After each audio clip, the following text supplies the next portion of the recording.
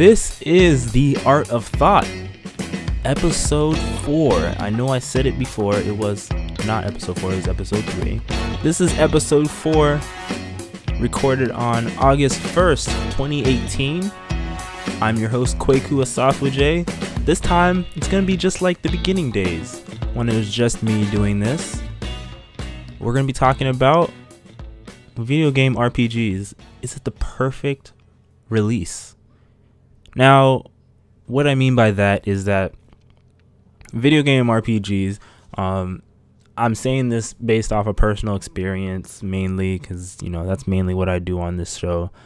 Um, video game RPGs, I, I tend to play them a lot more than any other type of game. Like, for some reason, I get headaches when I play first person shooters.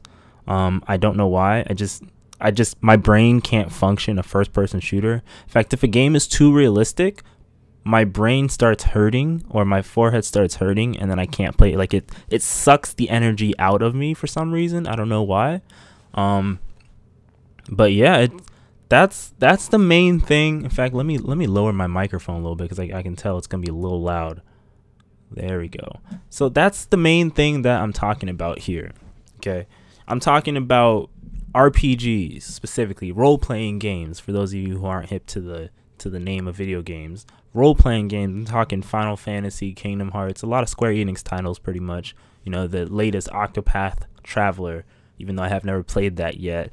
Xenoblade Chronicles, um, Earthbound, um, Dragon Age, Inquisition is the latest one, but Dragon Age, I'm talking Skyrim, I'm talking um, anything that that allows you to level up like in some way you level up or you make your character you your character starts off i'm holding this chapstick in my hand you guys can't see it. By the way video soon coming up um for podcasts. Um i'm holding this chapstick in my hand as a character.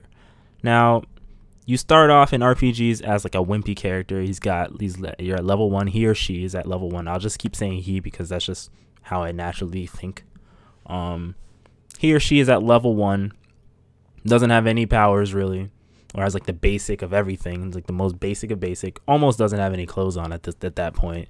Um, not known at all. In the newer games you can become like a lot of time you become more well known if it's more in depth. You become well known in the town um, compared to you know other places. So as you continue to progress uh, you don't have anything really. You don't have any kind of money no nothing. You're you're a fresh soul, almost like Rick Grimes in season one. He doesn't know what's going on at all.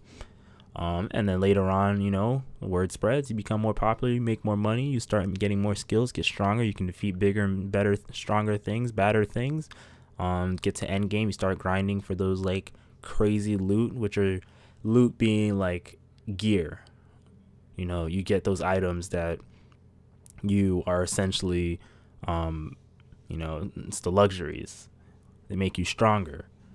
Um, and and I'm curious, you know, I wish I wish I could do this live because this is a very um, this is a very deep topic, like I tend to do. Uh, I'm curious.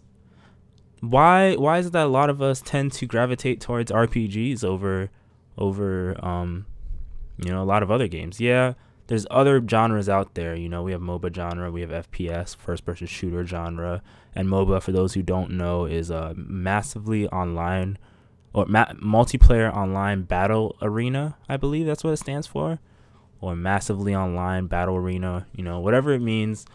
We have that. Um, and RPGs themselves have you know a genre, a subgenre. We have JRPGs uh, which are more turn based or have like deeper mechanics in my opinion um, versus the you know the latest out there nowadays which is like ac- action rpgs where you're literally like doing combos almost like an open world you're doing combos and just like slashing and whatever it is final fantasy 15 is an example of that in that it's an action rpg now you do level up but there's no there's no turn based thing you know Turn based doesn't mean you have to have um, random encounters, obviously.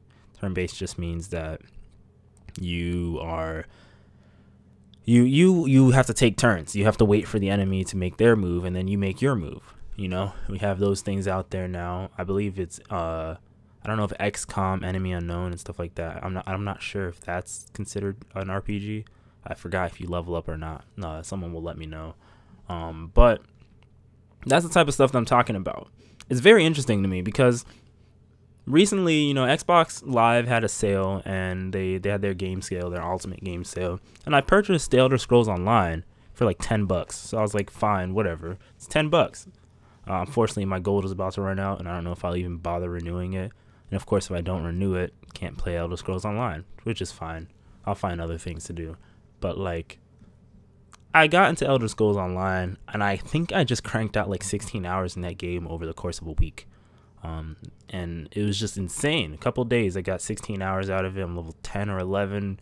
I don't know what I'm doing. Um, next thing you know, it's like I start right now. Right now, I'm recording this at like 5 p.m. And I start around like maybe 3, you know? And then next thing you know, it's like I kid you not, it's like eight o'clock at night or seven at night or something like that, and I I literally lost track of time. Like the house is dark because I haven't turned on any lights, especially in the kitchen. My room is dark. Luckily, I have one of those smart homes. Well, not smart homes. I have one of those smart hubs called uh, Wemo. I think it's from Belkin, I believe.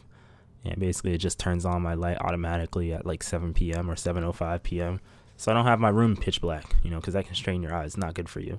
Um, but I'm just noticing like it took my life away. Like it's almost like I don't know. I don't know. What, I don't. I don't understand it at all. It's it's just something that happens when I play games like that. Kingdom Hearts is a huge example. One of my favorite series is series in the entire world out of my whole life of 24 years, Kingdom Hearts most people don't understand the game at all. It is an action RPG. There's no turn-based. There's not really any turn-based uh, elements in it. It's an action RPG. Even though I do um, love um, regular JRPGs that are turn-based. Um, but Kingdom Hearts, love the game. Square Enix, Disney, perfect. Final Fantasy and Disney together. That's like a dream come true to me. You know, we all, most of us all love Disney, um, Disney characters, and then most of us also. That was my phone let's see. Uh, that was another person on Twitter. But most of us all love Disney. And most of us, um, if you are interested in Final Fantasy, you all love Final Fantasy characters. What's the best of both worlds together? Put them together in one game and or multiple games up to now, and have them fight things and like team up. That's the greatest thing ever. And when I played it as a kid, you know, I started playing it as a kid, kind of segueing, but when I played it as a kid, my brain was like crazy and like imaginative. You know, it still is obviously for me to do this, but my brain was like, "Oh my god, uh, you know, uh, Beauty and the Beast. We have Beauty and the Beast in here. Oh my god, we have uh, we have the Beast. We have uh, Cinderella in here. Oh my gosh." Uh, what's going on? We have new characters. Who are these new characters? Sora, Riku, Kairi. We have a bunch of crazy new characters. And then we also have like characters from my old past games, Final Fantasy X, Titus. That's how you say his name. It's not Titus apparently. Titus. We have uh Yuna. We have a bunch of people. What? How? Uh, we have Cloud. You know the infamous Cloud Strife from Final Fantasy VII. He's in the game in full 3D, um, and not with block hands. He's got actual fingers. Um, oh my God, we have we have all these like characters. Auron from his that same game, Final Fantasy X um, and a similar t- story that seems like it could tie into Final Fantasy X. You just have the related elements all together, and it was just blew my mind. And to this date, I've played every single Kingdom Hearts game, mobile and console, all of them. I've owned all of them up to the PS4 era, where there's the um 2.8 and 2.8, and then we have 1.5 and 2.5. I don't have that combination one because I don't have a PS4 but eventually I will. And then Kingdom Hearts 3 is coming out, which is like, oh my god, I'm 24 years old. It'll be out by the time I'm 25. I don't know when I started playing Kingdom Hearts back in the day. I think it's gonna be like an anniversary kind of. So it's kind of amazing um, how much time it drained from me.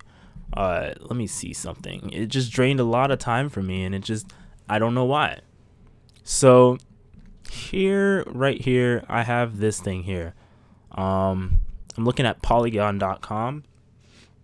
Try not to breathe into the microphone. I'm looking at polygon.com And uh, this is also from actually, you know, what, let me look at Lifehacker. This is from Lifehacker, and uh, they said the surprising benefits of role playing games and how to get started. I'm not going to tell you how to get started. All you have to do is just jump in. Honestly, it's not that hard. Um, uh, they say the benefits. This is a funny thing. They're like the benefits. Um, this is from Lifehacker. Sometimes this network of uh, websites, including Kotaku and stuff, tend to be like kind of funny in a way. Um, they say playing cultivates creativity. Creativity is the bread and butter of role playing games. They have a certain quality that allows you to transcend typical game interactions. You have real freedom and the ability to move the story forward how you see fit. There are rules for each game, but they also are merely the skeleton to whatever story you and your team want to create. And and they're saying this here. Storytelling is one of the most powerful ways to activate our brains. Role playing games do this incredibly well. When we tell stories or experience them, uh, our brains have to process language and cause and effect of events and related to our own pre-existing experiences. While you're role playing game, while you're playing a role playing game, your brain is firing on all cylinders. So it's interesting, you know. We when they're saying that when you're when you're deep into a, a role playing game, say Skyrim, because um, that's the one that's been remade constantly and put on every console since like the PS3 days and the Xbox 360 days. It's still on every console up to now, um, and PC. Made a number of times, and yet people still love the game. People still jump back into the game, not just because of the modding. Because I, even me, I don't care about the modding, but people still come back. I have a friend who even like still talks about Skyrim, and it's just something about it that keeps people coming back. Um, the interesting thing though is you know me i went to school for for photography and studio art. Okay, and I went to high school and I did like engineering, and I but I spe- started specializing in like 3D modeling. Um, obviously, I haven't done much of that recently, but it's all I specialized in a place that required me to think creatively. I didn't do like engineering where it's mostly math based. Specialized in a in a place that you know more towards the architecture side, and then when I went to college, I started shifting towards the arts. And yet, my favorite genre is also you know role playing games, RPGs. And then my favorite role playing game series is probably going to be Final Fantasy with Kingdom Hearts up there because they're they're together in a way. The same brand, there's the same uh same company made them, same developer slash publisher made them, Square Enix slash SquareSoft. They used to be SquareSoft. Um, it's just very interesting to me, um, like why I, why why I like that so much. You know, is it the color? Because a lot of these role playing games have a lot of color in it. Um, Skyrim, for instance, um, it's not very colorful in some places. Like they've remade it, they've remastered it so that it's more vivid and stuff for the current generations of consoles. Um, I don't know. I don't know. I don't know what the thing is. So I think I might here's what my hypothesis. My hypothesis is that perhaps role playing games are to, you know, like the title of the show, um role playing games are kind of a release. Like they're the perfect release from life. Um they're they're the games that if you have any problems going on in your life, um, whether you like to say it or not, or admit it or not, it's probably deep subconscious. And you love role playing games. There's a good chance that you play them for that reason because role playing games are a way you you may not be able to solve the problem of your solve your current life problem currently, but in the role playing game, you know, RPG, whatever problem there is, there is a solution obviously programmed in, and you can figure it out. And when you figure it out, you become a better person in the game you know, and you, excuse me, when you figure it out, you know, you become a better person. Jeez, this food that I just ate. And you become stronger. You may think, you know, maybe deep subconsciously, you may think you're not very strong willed currently. So you, you, you dive into video games, specifically RPGs, for that to, to, to strength, to feel strong, you know, and then eventually when you put enough hours in you become the strongest person out there. You know you can do whatever you want you can take on any challenge you can you can do anything. You know it's just kind of like a motivation boost. Um, you may have problems in your life. You know my last episode by the way that I did episode three that I accidentally called episode four because I lost track of the weeks. That one was based from Demi Lovato's uh, relapse and also mental health, and then um, and so this episode being video games the perfect getaway, it seems as if you know there's a trend going on where a lot of the topics I talk about is almost like a getaway or almost like a a way to cope with whatever's going on, maybe in my life, maybe in your life, whatever it is. Um, and video games, there can be they can be good and bad. You know, obviously you sit down too much, it's not good for your health. Um, me personally, I work out a lot, like way too much. You know, I'm working on being a personal trainer.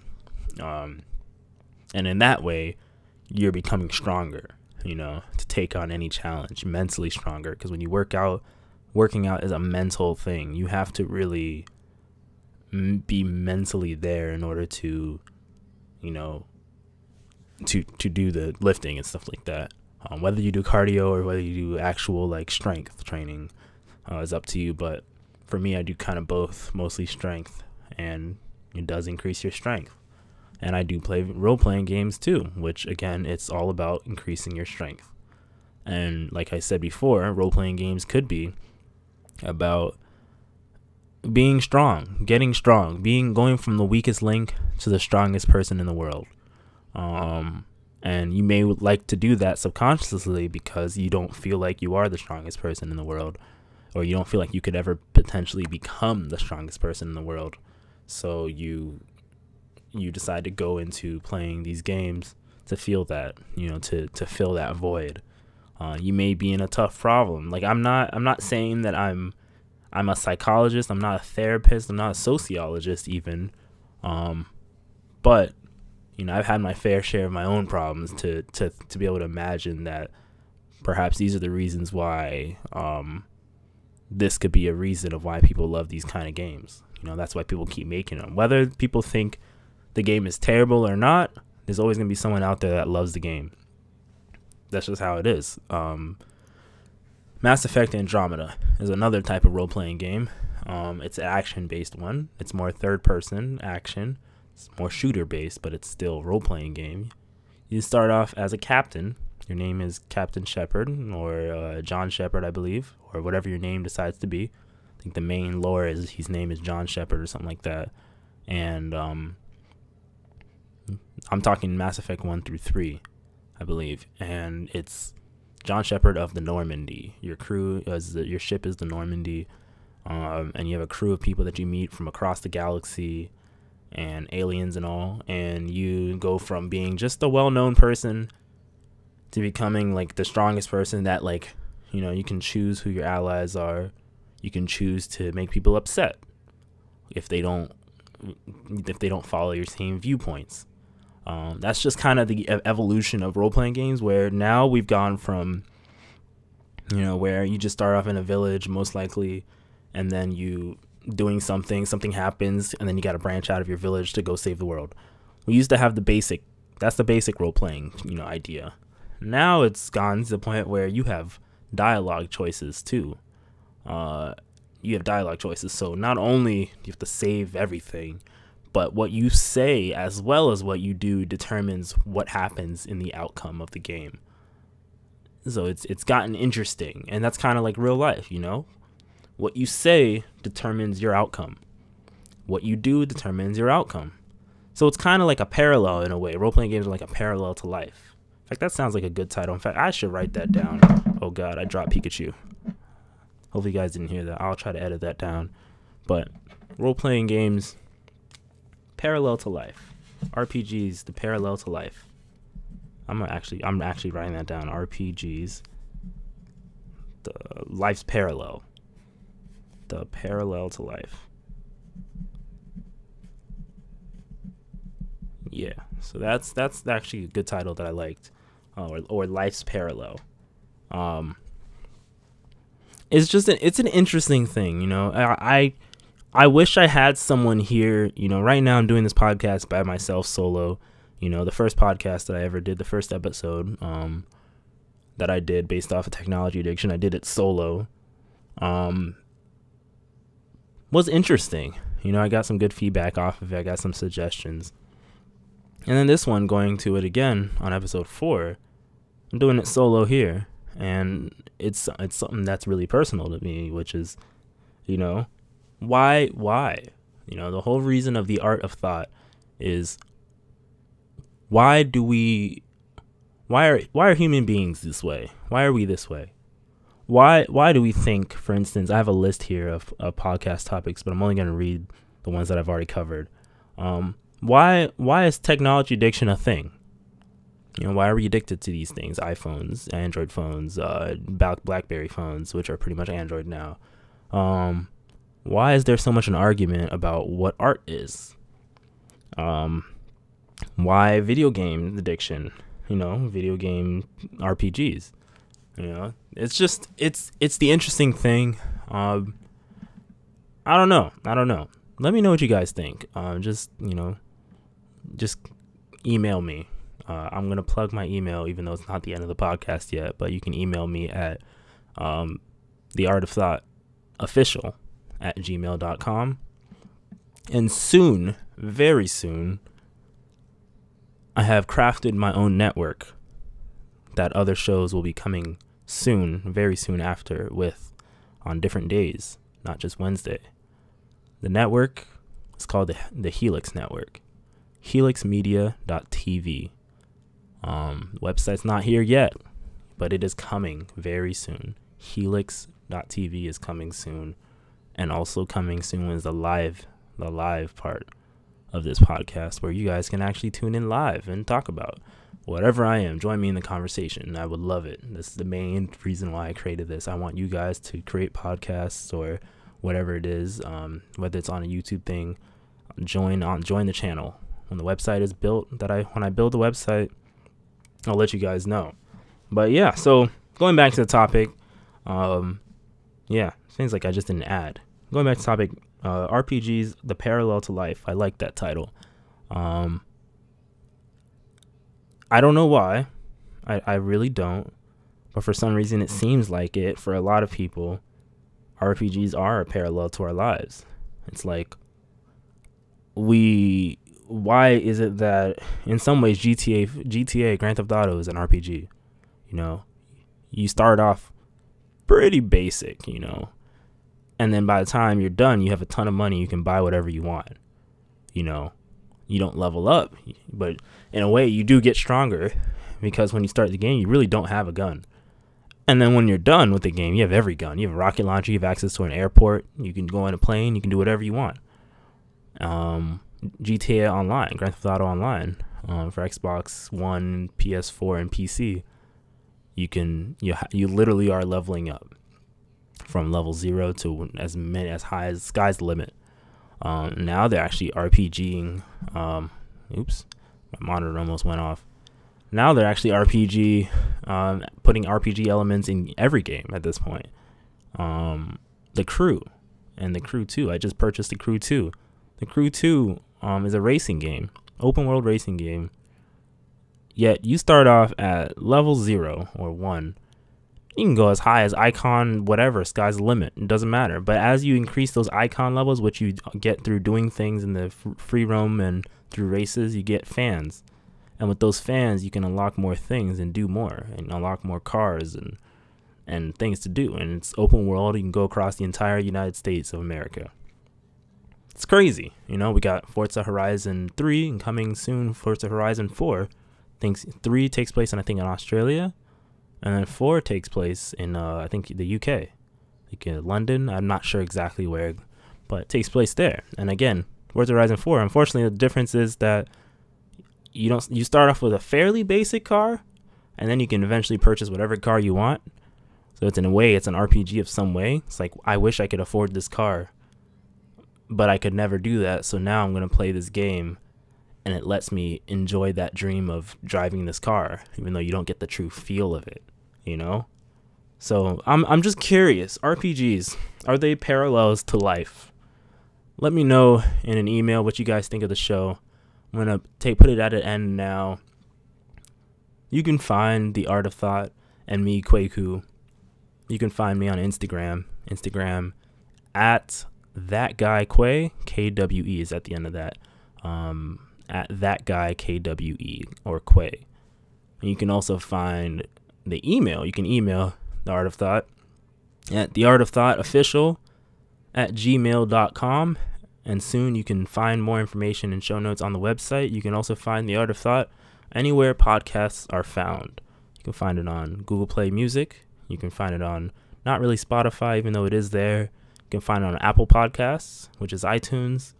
Um, just download the app and you can find it on there. Just search for my name, K W E K U. Uh, you can find it on TuneIn Radio. You can find it on Stitcher Radio. And am I missing anything else? Um, not sure if I'm missing anything else, but so far, so that's what we can find. You can find it on, and uh, in the coming weeks, I'll be making the move. Oh yeah, and on SoundCloud if I didn't say it already. You can find it on SoundCloud, The Art of Thought. Just type that in, The Art of Thought. Uh, type that in, in SoundCloud. You'll find the playlist, and you can play back the older episodes as well as this current one. I upload each day that I record. Um, currently, it is on Wednesdays. I upload the very same day. Um, yeah, so expect this episode the very same day. Today, Wednesday, August 1st. This episode was about video game RPGs are the perfect release. And as you can tell, the title, what I love it to be video games, video game RPGs, the parallel to life. Yeah, sounds good. All right, everyone, I will tune out and catch you guys next week or maybe on Friday. I'm not sure. I'm thinking about launching a new show, a morning edition show, just for morning inspiration. We'll see. But yeah, adios, everybody, and have a good night.